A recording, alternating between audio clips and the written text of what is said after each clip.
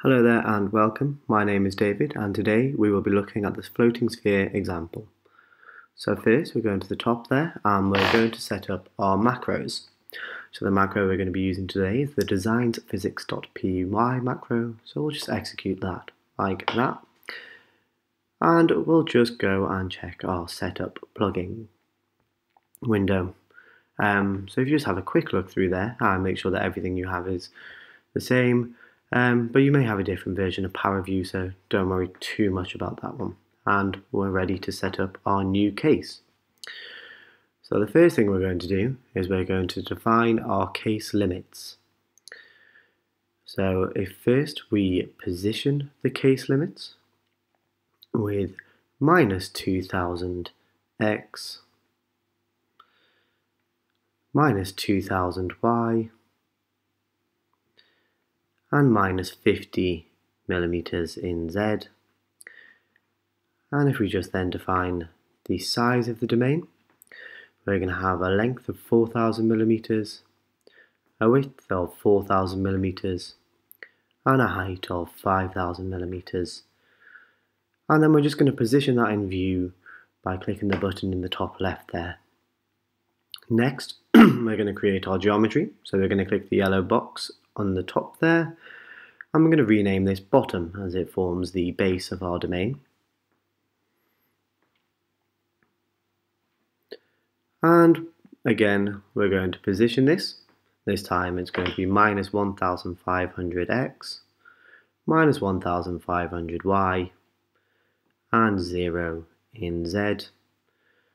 And again, we're going to define the size so a length of 3000 millimeters, a width of 3000 millimeters, and a height of 1 millimeter.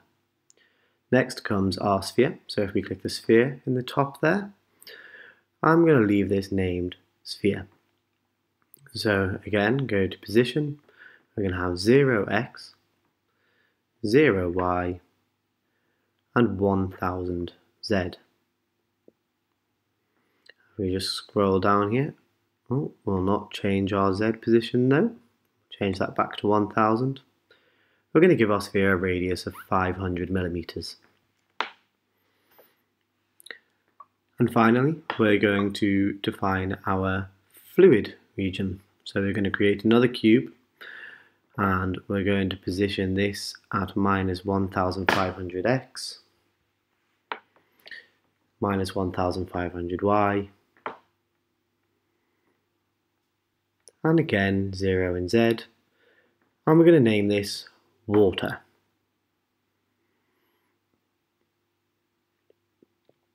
And again we'll define the size of our box. So we'll have a length of 3000 millimeters, a width of 3000 millimeters, and a height of 2000 millimeters. And if we just change the viewing settings and we'll give this a transparency of 50% so it has no effect on the properties of the cube. It just allows us to see that the sphere is still there and still a completely separate entity within the geometry.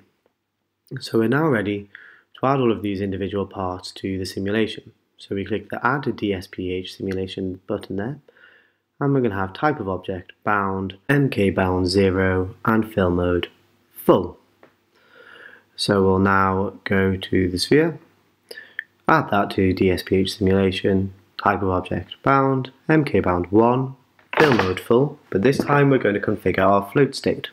So we're going to set floating to true, and we're going to give the sphere a density of 500.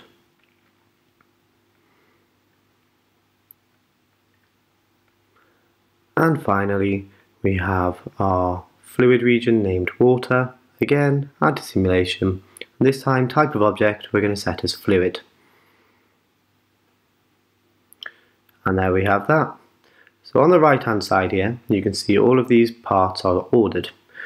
Now it's important that these parts are in the right order as that's the order that the individual parts appear within the code and therefore the order that the particles are generated. You can adjust the order by clicking the arrows on the right and we're looking for this order here where we have water, then bottom, and then sphere. We're now ready to change the simulation to 2D with y position of 0. And now we're going to set up our constants. So we're going to leave most of this as default, but we're going to change the coefficient of h to 1.2. And now we're going to move on to the execution parameters, just at the top there. So we're going to use double precision. We're going to use the symplectic step algorithm. We're going to enable delta SPH and leave the delta SPH value as 0.1. The time of our simulation is going to be 6 seconds with a timeout data of 0.02 and we're going to enable X periodicity and we're going to leave Y and Z increments at 0. Finally, we'll change the interparticle distance to 0.025 and we're ready to save and run the gen case as you can see there.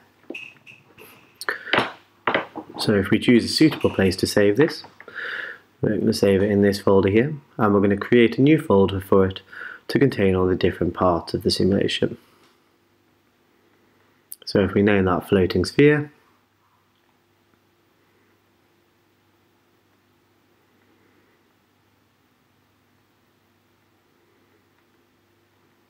there we have that. So we're now going to go into ParaView quickly. So I'll open up ParaView and we're going to open one of the folders, one of the files, sorry, that's just been created. So we're going to go to the floating sphere file that we've just made. And we're going to go to the floating sphere out folder. And in there you have floating sphere all VTK. So if we just show that, and we're going to position it with Y plus, like so, and we'll get that to come back quickly. So what we have here is you can see the starting position of all the particles within the simulation. So this is our input. Now that we've seen all that's okay, we can go back and we'll just have a look very quickly at the other file, the other files that were created when we saved and ran the gen case. So we just go to this folder. You can see here these files here, these our save files. So the case data.dsph data file is the file you'll open if you're loading the case. And here you can see some of the other files created in the out part, including that floating sphere or VTK file we just looked at. We're now ready to start looking at running the simulation. So there's a couple of options here. We can run this using the CPU or the GPU. It's recommended the GPU is used, it's far, far quicker. Um, however, there's no difference in results if you use the CPU like we will be doing here. So here we can see the simulation running. This has been sped up enormously, so don't worry too much if yours is a bit slower. On the left we can see the log where we can see the individual particles being calculated and on the right we can see that they're being output into the floating sphere out folder. That's that done there. So we're now ready to start looking at post-processing this. So we're going to click on part VTK and we're going to save the fluid part of this simulation. So we're going to tick the fluid box and we'll name this fluid part and export that.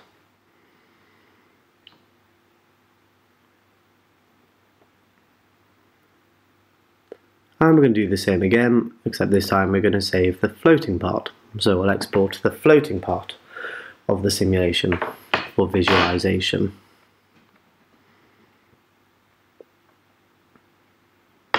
And once that's done, we're going to go back into ParaView and we'll clear the input and we're going to open up the two parts we've just saved. So we're going to open the floating part VTK